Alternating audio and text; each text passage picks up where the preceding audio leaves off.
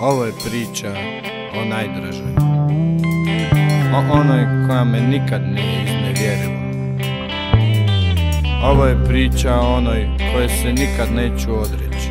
O onoj s kojom sam proveo cijeli život A sa njom ću i umriti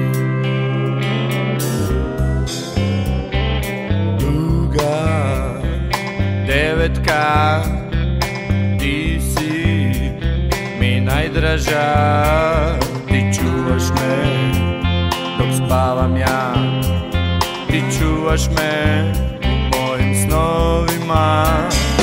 Duga devetka Tako sjajna i čelična.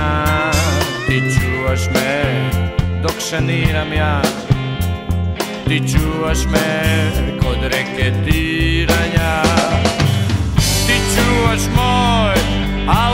stan.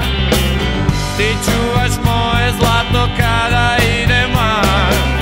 Ti čuvaš me kada sam i nula Ti čuvaš mog vjesnog pitbula. Devetka tako hladna i vatrena. Ti čuvaš mi najmilije Ti čuvaš me od familije. Duga devetka Devetka Devetka. Ti čuvaš me dok dilam ja. Ti čuvaš me kod utjerivanja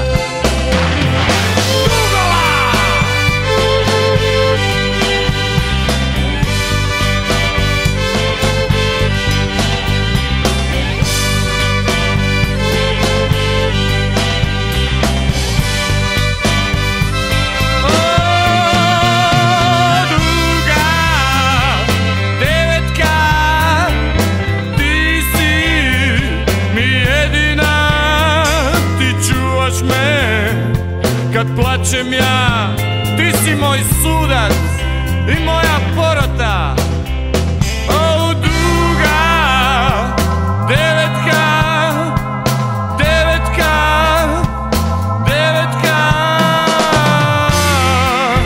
Srećo najdraža, tako sjajna, kromirana i čelična.